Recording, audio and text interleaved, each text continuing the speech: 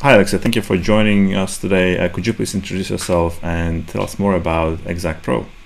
Uh, hi, my name is Alexey Zverev. I'm a co-founder and co-CEO of Exactpro.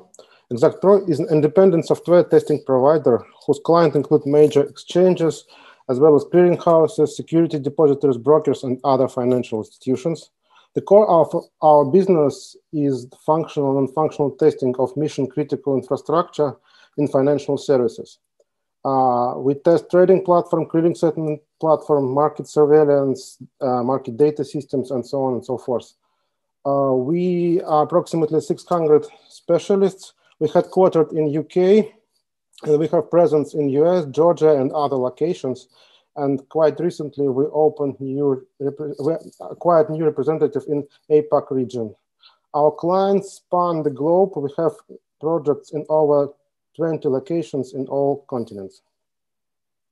Thank you. That's brilliant. Um, so my next question is: What are some of the challenges fin- uh, fintech apps face and growing needs for QA? So uh, the technology system in the financial sector are very complex. They typically have uh, lots of independent components and communicate through multiple gateways via, via various protocols. Uh, the daily life cycles rely on complex business logics, massive arrays of data, and calculations. And for the stock exchanges, uh, they have very tough SLAs. It must be able to process hundreds of millions of orders per day while maintaining the, the high availability.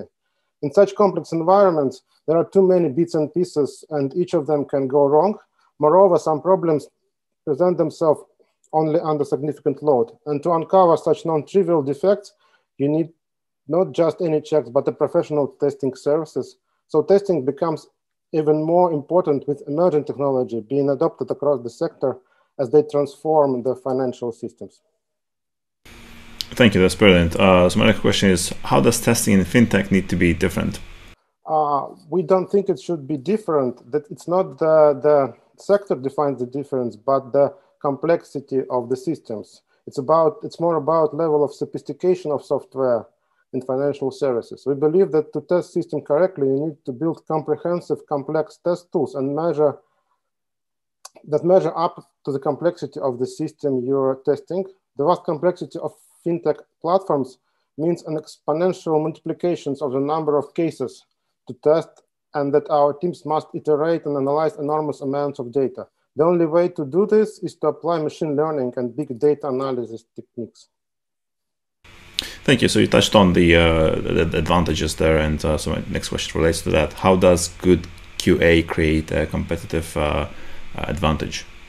Uh, modern fintech organizations must develop and run uh, reliable, complex systems working in volatile environments in real time. Without good QA, the capability of maintaining and upgrading such system is significantly reduced. In other words, if you have good QA, you can focus on the development of your system and upgrade it frequently and safely.